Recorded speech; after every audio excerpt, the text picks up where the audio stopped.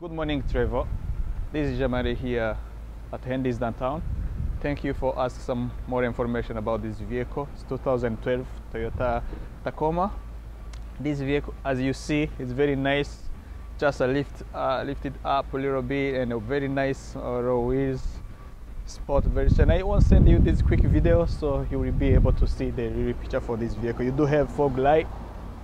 Also you have daylighting light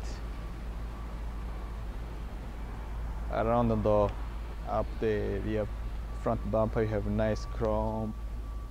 Here if you look it still looks perfect nice no no no, no rusts. And um, here have a small scratch on our wheels but it's no big deal. Brand new tire for season. So direction indicator is very convenient you can see.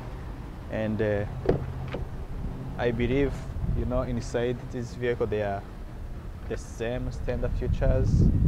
Power seat pod steering telescopic steering. Also you have audio control on steering air conditioning display power windows mirror. If you turn around you will find just so small scratches because the black color sometimes anything through you can find out. But inside is still nice. Tonneau cover. The backup camera towing package. This vehicle is still available. If you want any extra information just feel free to give me a call. My phone is 02 528 2274 thank you very much.